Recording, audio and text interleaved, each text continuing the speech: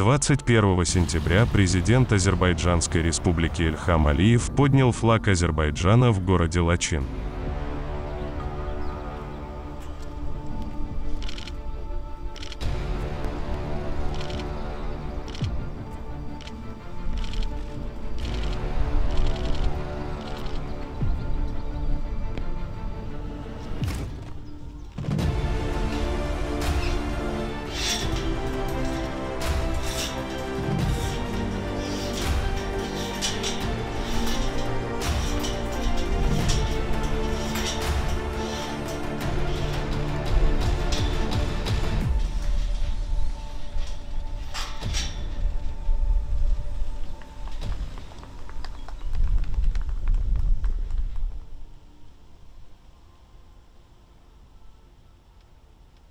...44 günlük vətən müharibəsinin sonunda Ermənistan kapitulyasiya aktına imza atmağa məcbur olmuşdur. По окончании 44-дневной Отечественной войны Армения вынуждена была подписать акт о капитуляции. Таким образом, была подтверждена историческая победа Азербайджана. В результате этого акта о капитуляции Армения должна была вывести свои войска из оккупированной части Агдамского, Кельбаджарского и Лачинского районов и выполнила это. Об этом заявил президент Азербайджана Ильхам Алиев в ходе выступления на церемонии поднятия флага Азербайджана в городе Лачин. Laçının cənub, Kəlbəcərin şimal hissəsini Müzəffər Azərbaycan ordusu işğalçılardan azad etmişdir. Часть Лачинского и Кельбаджарского районов была освобождена во время 44-дневной Отечественной войны. Победоносная азербайджанская армия освободила от захватчиков южную часть Лачинского и северную часть Кельбаджарского районов. Однако город Лачин оставался вне нашего контроля. Причина заключалась в том, что автомобильная дорога, соединяющая Армению с Ханкинди, проходит через центр города, поэтому мы не могли установить контроль над городом Лачин.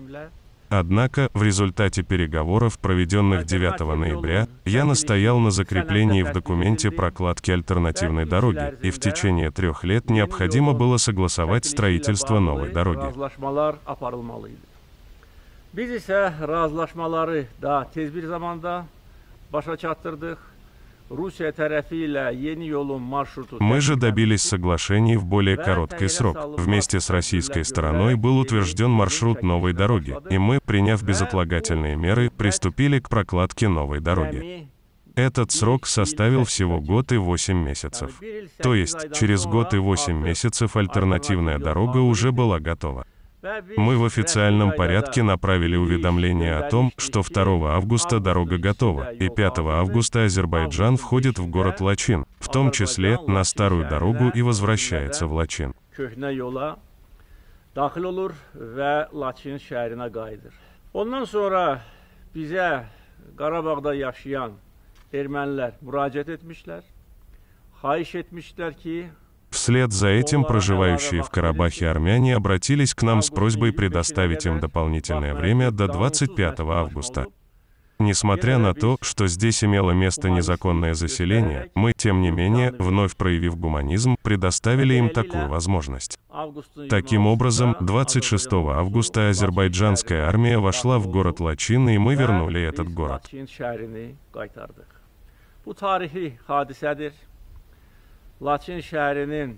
Это историческое событие. Освобождение города Лачин навсегда останется в истории. Сегодня я поднял в Лачине, в центре города, на центральной улице флаг Азербайджана. Этот флаг будет развиваться здесь вечно.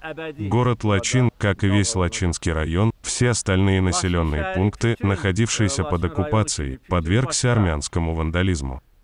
Проявление армянского вандализма можно увидеть в каждом селе, в каждом городе.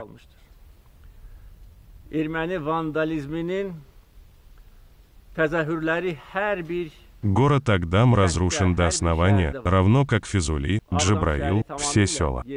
В некоторых местах, в том числе в городе Лачин, армяне провели незаконное заселение, привезли и незаконно заселили здесь лиц армянского происхождения из Армении, а больше из-за рубежа, Сирии и Ливана.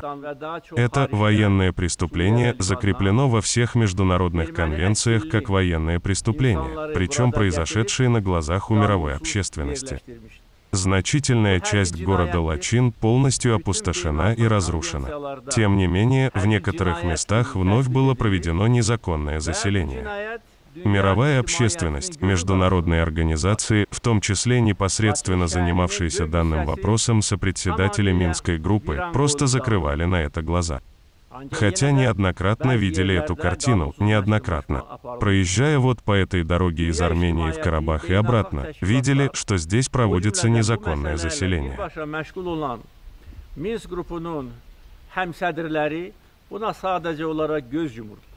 Видели, что уничтожаются азербайджанские топонимы. Видели, что наша историческая, древняя азербайджанская земля Лачин армянизируется, что здесь проводится незаконное заселение но закрывали на это глаза, словно соглашались с этим. Hər dəfə mən deyirdim ki, heç vaxt imkan verə bilmərik ki, bizim torpağımızda ikinci erməni dövləti yaradılsın. Мы же, азербайджанский народ, никогда бы не смогли согласиться с этим. Я всякий раз говорил, что мы никогда не позволим создать на нашей земле второе армянское государство. Хочу еще раз сказать, что освобождение Лачинского района и города Лачин от оккупации – историческое событие. Вся наша славная Отечественная война – это наша славная история. Но учитывая особое стратегическое значение, сложный рельеф, тяжелый, суровый климат, освобождение Лачинского и Кельбаджарского районов представляет особое значение. Olunarkən faktiki olaraq Ermənistanla Qarabağ arasında coğrafi bağlantı yaradılmışdır. При оккупации Лачинского и Кельбаджарского районов в начале 1990-х годов между Арменией и Карабахом фактически была создана географическое сообщение. Лачинский район был оккупирован 18 мая 1992 года, а Кельбаджарский район в начале апреля 1993 года. Таким образом, армяне добились желаемого. Ki, onlara bir Они считали, что вечно будут жить на этих землях. Думали, добьются этого. Видели, что покровительствующие им несколько стран, закрывающие глаза на их преступления, непосредственно занимающиеся данными вопросами организации остаются безучастными к этому. Словно оправдывают их, и они становились еще более оголтелыми. На первоначальном этапе оккупации они разрушили все наши населенные пункты но впоследствии почувствовали, что их преступление остается безнаказанным, и приступили здесь к незаконным строительным работам, в том числе в городе Лачин, селах Забух и Сус. Birlikdə 26 avqust tarixində Zabux və Sus kəndləri də işğalçılardan azad edilmişdir. Должен также отметить, что 26 августа вместе с городом Лачин от захватчиков были освобождены также села Забух и Сус.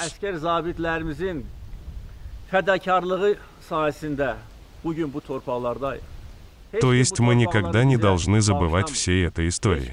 Мы пришли на эту землю ценой крови и жизни наших шахидов. Находимся сегодня здесь благодаря самоотверженности наших солдат и офицеров buradan çıxarmalıydı.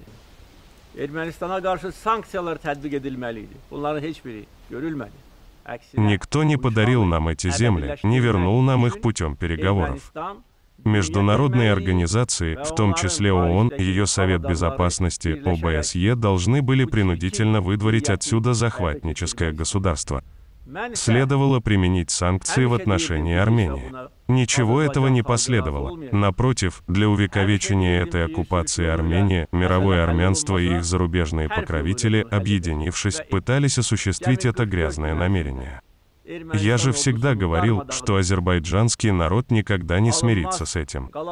Всегда говорил, что если вопрос не будет разрешен мирным путем, то мы решим ее военным путем, так и поступили. В течение всего лишь 44 дней разгромили армянскую армию, освободили Шушу, считающуюся неприступной крепостью. На поле боя освободили Джабраил, Физули, Зангелан, Губадлы, Гадрут, Хаджавент. Враг был сломлен и вынужден был покинуть Лачин, Кельбаджар, Агдам.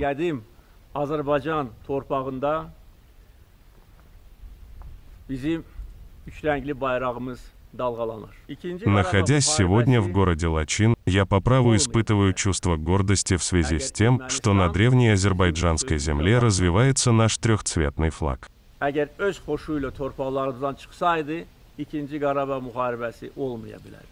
Если бы Армения послушала бы нас, то Второй Карабахской войны могло и не быть. Если бы она по доброй воле покинула наши земли, Второй Карабахской войны могло не быть. Апрельские бои 2016 года стали нашей очень большой победой, как с моральной, так и стратегической точки зрения. Высоты, освобожденные нами в результате тех боев, создали для нас дополнительные возможности, в том числе заложили основу нашего успешного шествия во Второй Карабахской войне. Qorxuya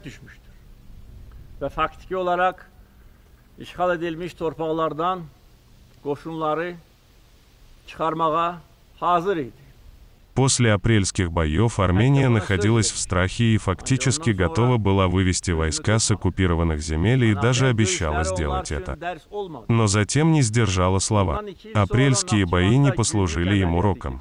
Через два года после этого в Нахчеване была проведена операция «Гюннут», взяты под контроль стратегические высоты. nəhayət 2-ci Qarabağ müharibəsi Ermənistan ordusunun tamamilə Это тоже не послужило им уроком. Наконец, Вторая Карабахская война завершилась полным разгромом армянской армии, и победоносная азербайджанская армия освободила родные земли.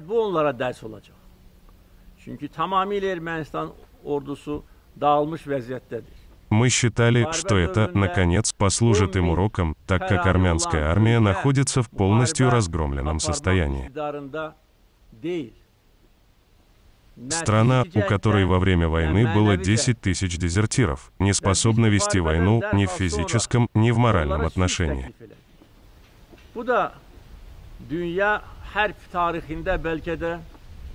Nadir hallardan. Сразу после войны мы предложили им мир. Это тоже, возможно, уникальный случай в военной истории, несмотря на 30-летнюю оккупацию наших земель, страдания наших граждан, разрушение историко-религиозных памятников, городов, размещение более миллиона мин. Мы предложили мир.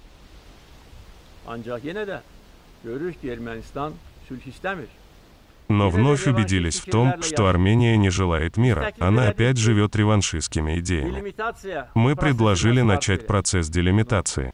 Они затянули это больше, чем на год. Сегодня, если даже такой процесс начнется, то он будет носить чисто формальный характер. Никакие переговоры по существу не проводятся, никакие обсуждения по картам не проводятся. Üzrə.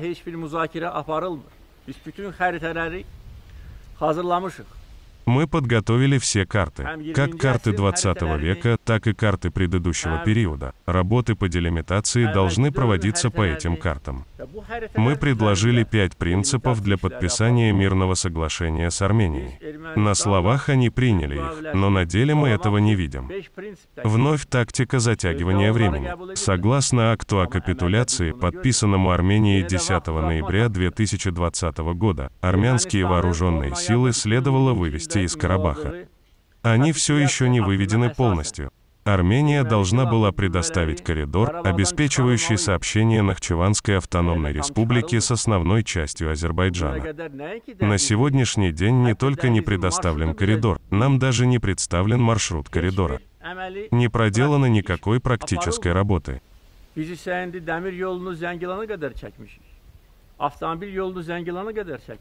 Мы же уже проложили железную дорогу до Зангелана.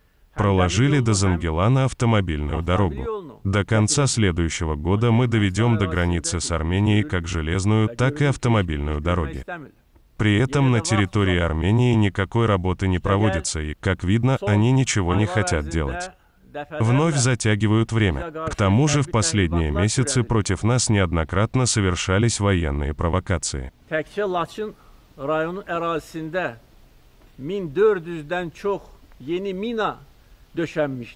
На территории одного только Лачинского района было размещено более 1400 новых мин, причем эти мины были заложены в 2021 году, то есть после войны.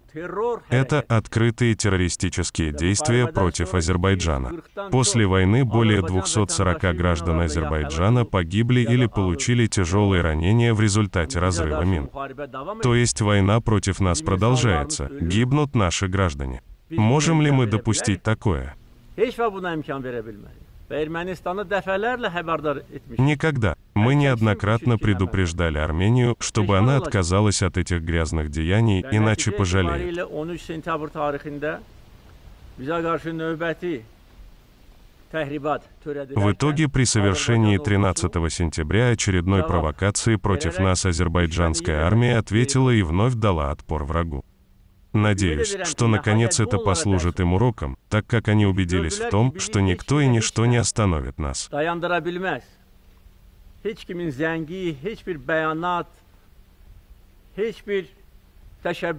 bizi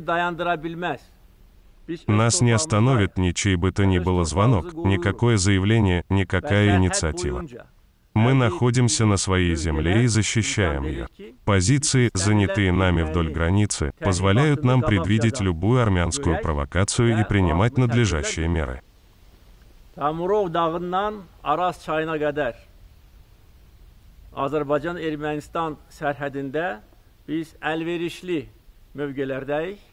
Мы занимаем благоприятные позиции на Азербайджано-армянской границе от горы Муравдак вплоть до реки Арас. Vizual nəzarət imkanı yaradır. O cümlədən önəmli kommunikasiya xətlərinə nəzarət etməyə imkan verir. Эти позиции предоставляют нам как военное преимущество, так и создают возможности для визуального контроля над обширной территорией, в том числе важными коммуникационными линиями, и мы уже размещаемся в этих регионах. Sərhədlərə çıx- 30 лет мы не были на этих границах. Ermənistan После окончания Второй Карабахской войны мы вышли к границам. Если Армения пытается обвинить нас в том, что мы вторглись на их территорию, то это лишено всяких оснований. Sərhəd xətlərini inşa edərdilər. Во-первых, если граница находилась там, где они говорят, то проложили бы границу, создали бы пограничные линии, коммуникации, провели бы инженерные работы. Они считали, что весь Карабах и Зангизур останутся у них. Именно поэтому не проделали никакой работы на азербайджано-армянской границе. То есть без проведения делимитации нашей границы никто не сможет сказать, откуда она проходит. Вновь хочу сказать, что мы готовы к обсуждениям и ответственно подходим к работе комиссий по делимитации азербайджано-армянских комиссий. istəyirəm ki, bütün xəritələr, o cümlədən 19-cu əsrin, 20-ci əsrin, ondan əvvəlki dövrə aid olan xəritələr bizdədir. Собрали все карты. Хочу еще раз сказать, что у нас имеются все карты, в том числе относящиеся к 19-20 векам, предыдущему периоду. Эти карты открыто свидетельствуют о том, кто на какой земле размещается. Поэтому без проведения делимитации никто не может обвинить нас. 13 сентября у нас вновь были шахиды. Allah şəhidlərimizin yaxınlarına səbr versin. Amma onlar bilməlidirlər ki, uğrunda. Да упокоит Аллах души всех наших шахидов. Да не спошлет Он исцеление нашим Газе. Да не спошлет Аллах терпения и выдержки близким шахидов. Но они должны знать, что шахиды возвысились на вершину шахидства во имя Родины. Мы не хотим и не хотели войны. Именно поэтому в течение почти 30 лет вели переговоры. Именно поэтому после Второй Карабахской войны хотели подписать мирное соглашение с Арменией.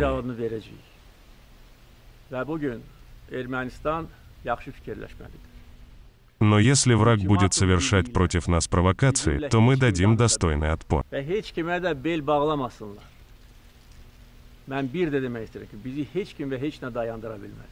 Сегодня Армении следует хорошо подумать. Никто не может говорить с нами языком ультиматума, и пусть ни на кого не рассчитывают. Хочу еще раз сказать, что никто и ничто не сможет остановить нас. Мы выступаем за правду, справедливость, международное право, защищаем, защищали и восстановили свою территориальную целостность. Мы смогли показать всему миру, на что способны, военным путем освободили наши земли и гордимся этим.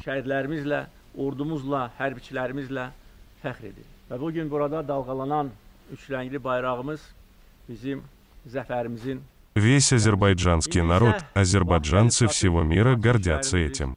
Мы гордимся нашими шахидами, армией, военнослужащими. Развивающийся сегодня здесь трехцветный флаг является символом нашей победы. Bütün deməli yaşayış fondunun А сейчас настало время, когда мы должны восстановить город Лачин. Подготовка к этому уже идет.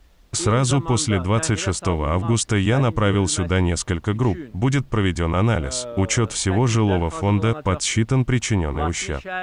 Одновременно будут подготовлены предложения для осуществления безотлагательных работ. В первую очередь будут реконструированы город Лачин, села Забух и Сус.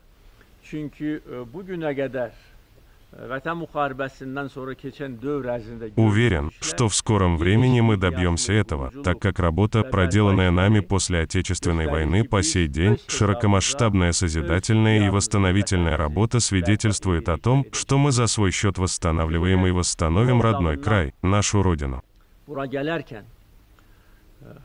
e, e, dağları görərkən bir daha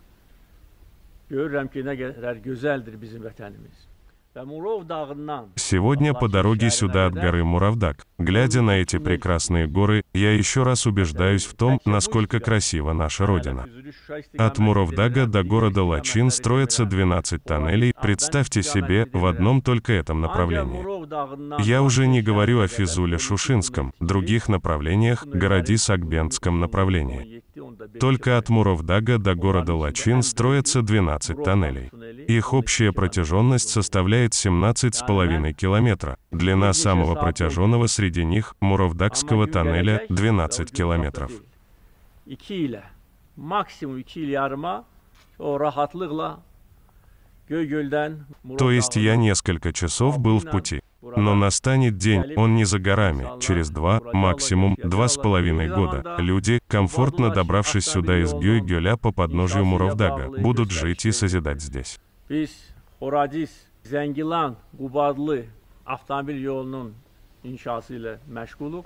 Одновременно дано указание по строительству автомобильной дороги Губадлы-Лачин. Мы занимаемся строительством автодороги Городис-Зангелан-Губадлы. Я дал указание, автомобильная дорога Губадлы-Лачин также будет четырехполосной. То есть эта дорога главная. В связи с электроэнергией сюда сразу же были командированы специалисты. Güləbirt su elektrik stansiyasından hansı ki biz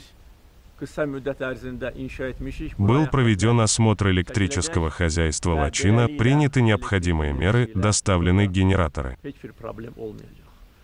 Və şəhərin vaxtilə 80-ci illərdə Сюда будут проложены линии с Гюлябирдской гидроэлектростанции, которую мы построили в короткий срок. Таким образом, никаких проблем с электроэнергией здесь не будет. Есть составленный некогда, в 1980-х годах, генеральный план города. Сегодня он анализируется, будет дополнен, и мы восстановим город Лачин. Надеюсь, что первая группа лачинцев сможет вернуться в Лачин до конца следующего года. Laçın rayonu və bütün başqa rayonları biz bərpa edəcəyik. Я надеюсь на это и сделаю все возможное для того, чтобы мы добились этого и очень скоро восстановили город Лачин. Мы восстановим Лачинский район и все остальные районы в целом. Сегодня азербайджанский народ видит, на что мы способны. Видит, что мы добиваемся победы и на войне, и в жизни, а воля и единство народа придают нам силы. Победа в войне также была одержана благодаря единству народа. Сегодня воля и поддержка народа придают нам силы при проведении работ по благоустройству и созиданию. Еще раз хочу сказать, что горжусь тем, что поднял в центре города Лачина наш национальный флаг. Этот флаг будет развиваться здесь вечно. Мы всегда будем жить здесь. Да здравствует Лачин! Да здравствует Азербайджан! Подпишитесь на наш канал Будра Ньюс и будьте в курсе всех событий.